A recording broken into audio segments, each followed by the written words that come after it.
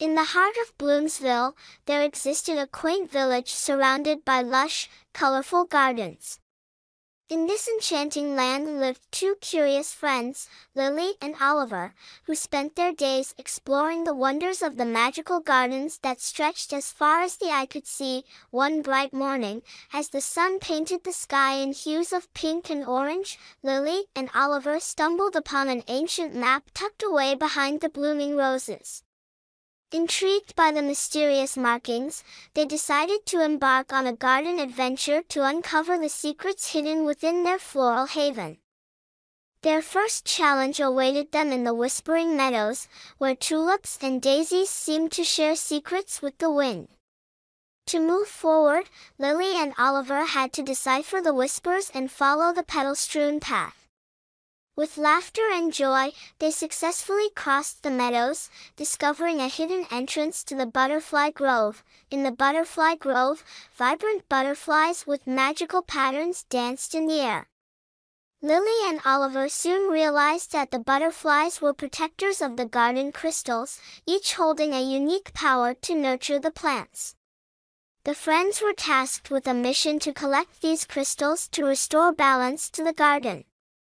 As they ventured deeper, they encountered the luminous Lotus Lake. To cross the lake, Lily and Oliver had to solve riddles posed by the wise frog oracle, who sat upon a giant lotus leaf. With clever thinking and a bit of teamwork, they gained the oracle's approval and continued their quest. The journey led them to the Giggling Grove, where mischievous squirrels and playful bunnies made them giggle with joy. The animals revealed a hidden passage to the Garden of Whimsy, a place where plants changed colors based on the mood of those around them. Lily and Oliver's laughter turned the garden into a kaleidoscope of hues. Finally, after facing various challenges, Lily and Oliver reached the heart of the garden, the Blossom Citadel. Here, they discovered the grand floral fountain, a magical source that fueled the entire garden's vitality. By placing the garden crystals in the fountain, they revitalized the land, and the gardens flourished more vibrantly than ever before. Lily and Oliver returned to Bloomsville as heroes, their once hidden village now a thriving paradise.